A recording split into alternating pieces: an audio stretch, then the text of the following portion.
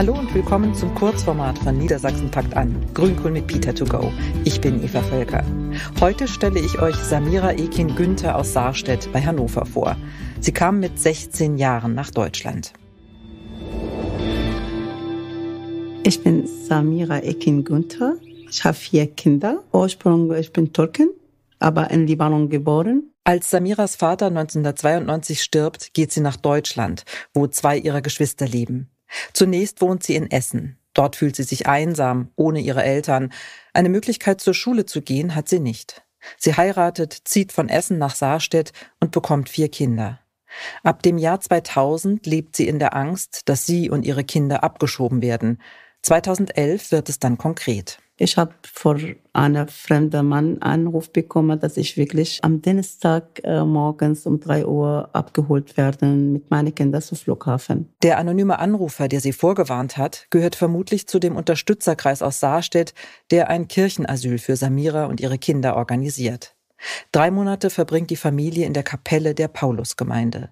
20 Menschen sind es, die in der Zeit darum bemüht sind, das Leben für die Familie auf 20 Quadratmetern so angenehm wie möglich zu machen. An diese Zeit denkt Samira mit gemischten Gefühlen zurück. Manchmal denke ich schon, das war wunderschön und manchmal sage ich, das war sehr schlimm. Die schwierige Zeit des Kirchenasyls nimmt ein gutes Ende. Durch die Heirat mit ihrem deutschen Mann erhält Samira ein Bleiberecht. Ein Grund, weshalb sich so viele Menschen in Saarstedt für sie eingesetzt haben, liegt darin, dass Samira sich seit Jahren ehrenamtlich in der kleinen Stadt engagiert. Ob im Sozialkaufhaus, beim Sport für Migrantinnen oder im Familienzentrum. Als Saarstedt 2015 Geflüchtete aufnahm, sprang Samira ein. Da waren auch hier in Saarstedt fast 2000 äh, Leute.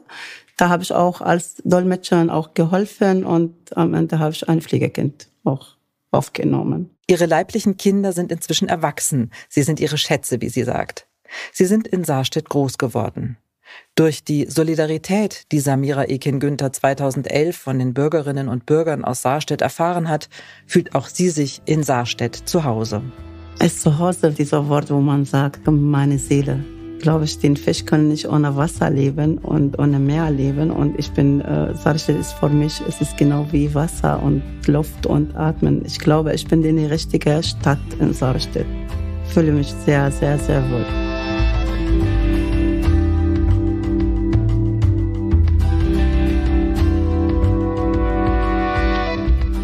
Soweit die Geschichte von Samira Ekin Günther. Das war's wieder mal von Grünkohl mit Peter to go.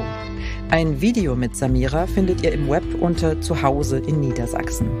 Wir freuen uns über eure Bewertung auf Apple Podcast oder Spotify. Wenn ihr keine Folge verpassen wollt, abonniert Grünkohl mit Peter überall, wo es Podcasts gibt. Das Team von Grünkohl mit Peter freut sich auch über Anregungen oder Kritik von euch. Schreibt eine Mail an bündnismitue.niedersachsen.de. Danke fürs Zuhören und tschüss, bis zum nächsten Mal.